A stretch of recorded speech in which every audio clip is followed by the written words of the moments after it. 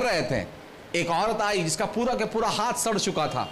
पूरे के पूरे कीड़े ने हाथ खाया था।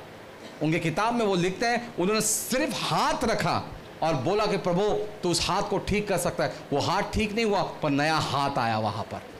नया हाथ आया। टी एल ऑसबर्न की किताब में कहते हैं the gospel with Daisy and T L Osborn उनकी किताब में वो कहते हैं कि जब वो अफ्रीका में थे, एक औरत जिसको कुबड़ियों के लिए के साथ, जैसे क्रचिस के सहारे चलती थी क्या हुआ? उसने कहा कि, सिस्टर, पाव आगे कीजिए। परमेश्वर को पाव दे रहा है। वो बोलती, अरे, मैं लंगड़ी हूँ। मेरा पाँव काटा गया है। मुझे पाँव कहाँ से आएगा? उसने सिर्फ़ अपने हाथ को लिया। उसके दोनों हाथों से, उस पाँव पे थे जो से दे मारा कि ब्रांड न्यू पाँव आया उसके लिए। फिर सोचिएगा, जब वचन हमारे पास होगा तो परमेश्वर ने क्या भी वचन दिया? चिन्ह चमत्कार आपके पीछे रहेंगे। क्या रहेगा? उसने तीन चीज़ों पे अधिकार दिया हमें, सांप और बिच्छू। मतलब क्या है? जय चेटों का जादू टोना, जो बंधन है, उन पे अधिकार दिया है नंबर वन नंबर टू उसे शैतानिक बंधनों पे जो पगड़े हैं जो पछाड़े गए उन पे हमें अधिकार दिया है। और तीसरा क्या कहा उसने? उसने ये कहा कि चिन्ह चमत्कार किन के पीछे आएँगे? जो विश्वास करते हैं। विश्वास कहाँ से आता है? तो वचन को पढ़कर आता है। अगर वचन हमारे अंदर रहेगा तो इस बात को ध्यान में रखे, जो मनुष्य के लिए असंभव है, परमेश्वर के संभव है, वो विश्वास हमारे अंदर आना चाहिए। फिर आप इस बात को देखिएगा। मैं बोलना चाहूँगा जोशवा को देखिएगा। जोशवा ने क्या किया? बाइबल कहती है, वो देखा कि वो युद्ध हार रहा है। तो उसने क्या किया? वहाँ पर खड़कर उसने समय को रोका, सूरज को रोका, सूरज के पीछे के सारे चीज़ को रोका जो उसे रोशनी दे रही थी। फिर आप सोचिएगा, एक विश्वास वाला व्यक्ति अगर सूरज को बोला, थम जा तो थमता है, फिर आप क्या कर सकते हो? प्रेस गॉड अगर आपके पास वचन रहेगा तो इस बात को बोलना कभी भी अच्छा नहीं है बोलना ये कि मेरा समय निकल गया, मेरे पास वो दिन नहीं आएँगे, पर इस बात को ध्यान में रखें, हमारा परमेश्वर का वचन कहता है, हमारा परमेश्वर तुम्हारे दिन सोच समेत लौटाएगा आपको। प्रेस लॉर्ड कुछ कुछ लोग बोलते, मेरा समय गया. अरे, क्यों गया? क्योंकि जिस परमेश्वर का वचन तू पढ़ता है, उसने क्या कहा? मैं, तेरा समय मेरे हाथ में परमेश्वर कहता है। कुछ लोग बोलते, मेरा फ्यूचर नहीं है. बाइबल कहती है कि परमेश्वर के हाथ में हमारा फ्यूचर है। कुछ लोग कहते, मेरे पास काम नहीं है. परमेश्वर बोलते काम देने वाला तेरे साथ में तो काम क्या चाहिए देखो प्रेस इस बात को ध्यान में रखे, जब परमेश्वर हमारे साथ में है तो हमें क्या करने की ज़रूरत है? वचन को रोज़ाना पढ़ना ज़रूरी है। अगर आज मैं बताना चाहूँगा, सिस्टर लिंडा ने एक बात बड़ी अच्छी बताई थी टीवीएन के ऊपर। मुझे बड़ा पसंद आया वो बात को। उन्होंने बताया कि एक दिन उनके घर में ड्रग्स वाले बच्चे रहते थे, उनके अपार्टमेंट में। और वो रोज़ाना प्रार्थना करती, प्रभु, ये क्या कर रहे बच्चे शोर आ रहा है। तो वहाँ पर उसकी मम्मी से मिली। उसने कहा कि, ये क्या हो रहा है? उसने कहा कि, अरे, ये बच्चे ड्रग्स लेते हैं। ये ट्रक ड्राइवर्स हुआ करते थे। तो वहाँ पर वो मम्मी आई उसकी और बोली, लिंडा को कि, क्या करूँ? मेरा बच्चा जान जवान है, ड्रग्स ले रहा है। क्या करा जाए? उसने कहा, कुछ नहीं। आइए, आपका घर दिखाइए। वो घर में गई। जैसे ही वो घर में गई, उसने बोले, बच्चे का रूम दिखाओ। सब रूम दिखाए। उसने वहाँ प्रार्थना की। और उसके माँ से रोज़ाना कहने गए कि, बोलना, परमेश्वर का पुत्र इस बात के लिए प्रकट हुआ ताकि ड्रग्स का नुकसान होना चाहिए करके। आपको मालूम है, इक्कीस दिन तक वो माँ वहाँ पर प्रार्थना कर रही थी। अचानक से वो लड़का गाड़ी चलाते, उसको ड्रग्स की तलब हो गई। अचानक से आपको बोलता हूँ सोलह ट्रा चाक के ट्रक चलाता था वो लड़का। जब तलब हुई, वो तलब लेने गया, अचानक से ऐसा हुआ कि वो ड्रग्स लेने के लिए गया, परमेश्वर के सामने खड़ा। परमेश्वर ने उससे कहा कि ये ड्रग्स तुझे छोड़ना है।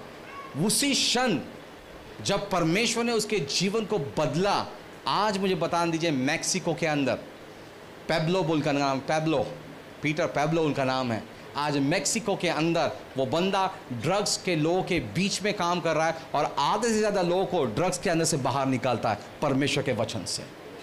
सोचिएगा, आज मेक्सिको के जेल में जब वो जाता है, पेब्लो का नाम लिया तो लोग बोलते अरे वो ड्रग्स प्लेडलर, या!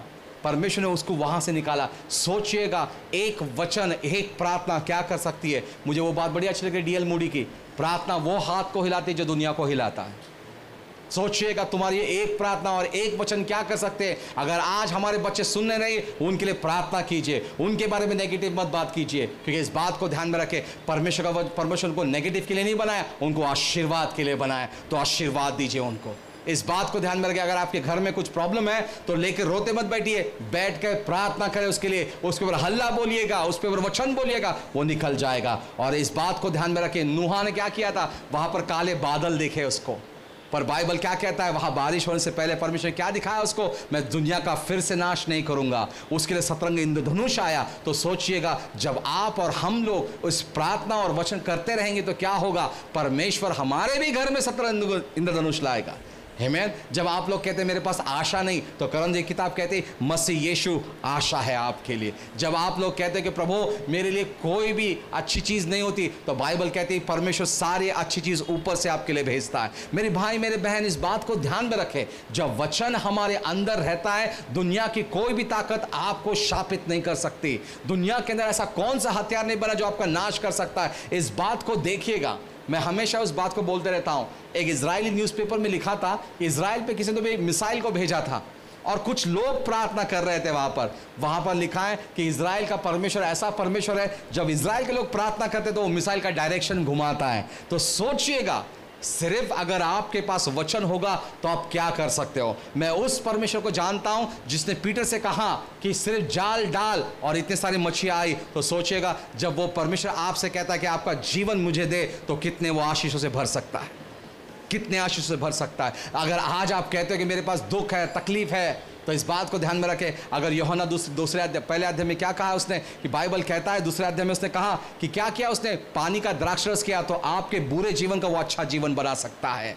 इस बात को ध्यान में रखें। जब आप कहते हो कि प्रभु मैं बीमार हूँ तो वो कहता है, मैं अच्छा क्या हूँ? डॉक्टर हूँ। जब आप कहते हैं, प्रभु, मेरे अंदर बहुत सी गलतियाँ हैं तो वो क्या कहता है, आप मेरे अंदर एक नई निर्मति हो। इससे बात का ध्यान में रखें कि जब वचन हमारे अंदर रखता है तो कोई हमें दोष नहीं लगा सकता है, क्योंकि मैं मसीह यीशु के अंदर कैसी हूँ? एक नई निर्मति हूँ।